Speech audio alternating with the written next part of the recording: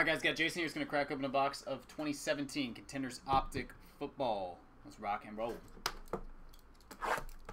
Searching for Mr. Mahomes. Let's make it happen. Let's make it happen. That would be truly epic.